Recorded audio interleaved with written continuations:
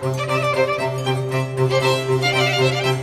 Valorizzare una filiera che ha fatto la storia di un'intera valle attraverso attività sostenibili e inclusive. È in programma domenica 31 ottobre alle 14.30 presso la sala convegni del Parco dei Colli di Bergamo la tavola rotonda La filiera della lana per una reale valorizzazione, organizzata nell'ambito del Festival del Pastoralismo 2021. Si tratta di un evento particolarmente rilevante che prevede anche l'intervento di Fabio Rolfi, assessore all'agricoltura di Regione Lombardia. In Italia, come in altri paesi, si sono fatti dei tentativi di rilancio delle lane locali, delle lane rustiche, però eh, non, mai, non, sono mai decollati, sono tentativi che sono rimasti un po' fino a se stessi.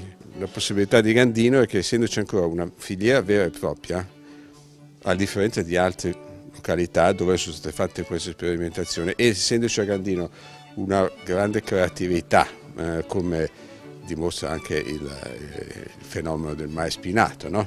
cioè il, creatività ma concreta legata a concretezza imprenditoriale eccetera. Allora, mm, se qualcosa sulla lana può nascere, eh, parlo in Italia, può nascere qua. Con la chiusura nel 2018 dello storico impianto di lavaggio della manifattura Ariete di Gandino, spiega Michele Corti, presidente del festival, l'Italia settentrionale ha perso un punto di riferimento per il conferimento delle lane autoctone.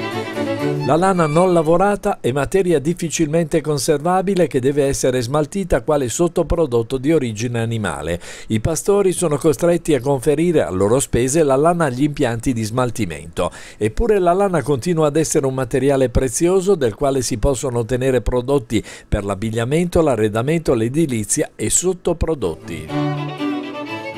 Oggi però c'è un eh, una nuova esigenza, quella della sostenibilità, eh, quello che i temi che una volta potevano essere considerati trascurabili, quindi le risorse, il, eh, il, risparmio energetico, il tema dei rifiuti, sta diventando con l'aumento della popolazione mondiale, l'industrializzazione di quasi tutti i paesi del mondo, sta portando questi temi all'ordine del giorno. Ecco, la lana risponde a questa esigenza sotto tanti punti di vista.